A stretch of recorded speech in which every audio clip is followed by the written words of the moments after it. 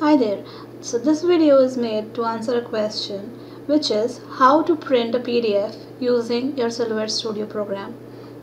However, it is also possible to print a PDF which has registration marks and can be printed at your print shop which you can bring back and cut using your Silhouette machine and your Silhouette Studio program.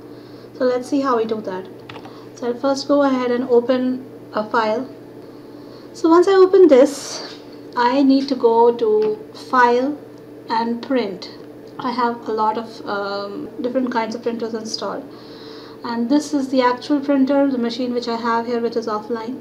But I'm going to use Adobe PDF which will make this into a PDF so I do this and I can go ahead go to preferences and then go to paper quality and select whether we wanted full color or black and white the layout can also be finalized from here whether we want it to be landscape or portrait.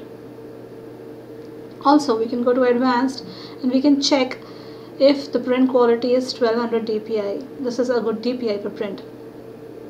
So we say okay and say print. When we do this it is going to print this particular file as a pdf in a4 size format so I'll show you how it does that. I'll go ahead and save it in please excuse the mess over here. So it will just be exported as document. And now it is open.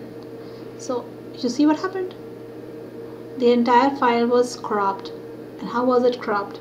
It was cropped into the size of the PDF that we had chosen which was A4 so what we do this time is we see the print border which is still here. And we arrange all the things over here in such a way that they are inside the cut border. Like this. And I may delete the things which I don't need. So maybe this and this I'm going to cut. And now only this part will be printed as PDF so I'll go ahead and press ctrl P and say print. So again I'll go and print this document as document. And it says do you want to overwrite it? I say yes. And there you have it the PDF and everything is inside the cut borders. Over here I've explained just to make a PDF a printable PDF next I'm also going to cover how to make a PDF with registration marks. A PDF which you can get printed at your print shop and you can bring at home and cut using a silhouette machine so for that you need to have your registration marks on. So you go to this panel which is about the registration marks. The registration marks can be turned on or off. So I'll turn them on. So after I turn them on I see them here. So this is well inside the cut border but you see only two of these inside the cut border. The third one is not. So what I do is I can move this one up and that I can do by changing the bottom inset so I'll bring it up till here. So once I have it here I see all my registration marks are in place inside the print border. You're going to go ahead and say print.